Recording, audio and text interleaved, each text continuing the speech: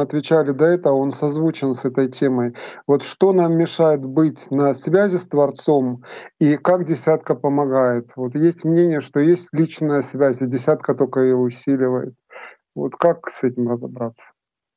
Ну, ну, это, конечно, десятка помогает оставаться в контакте с Творцом.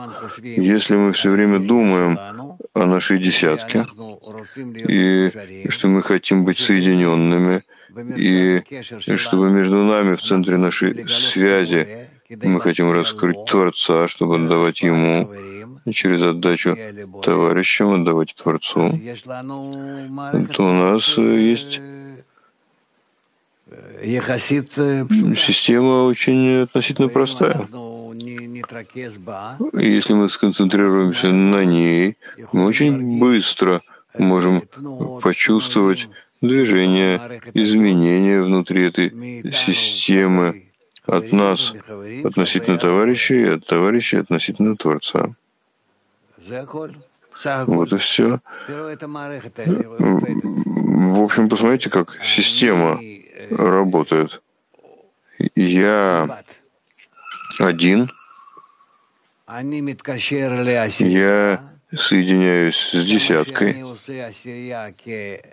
Чем больше я делаю десятку как одно целое, я этим могу через десятку обращаться к Творцу как к одному. И тогда все остается в нашей работе конкретно. Подумайте об этом. Эти системы довольно простые.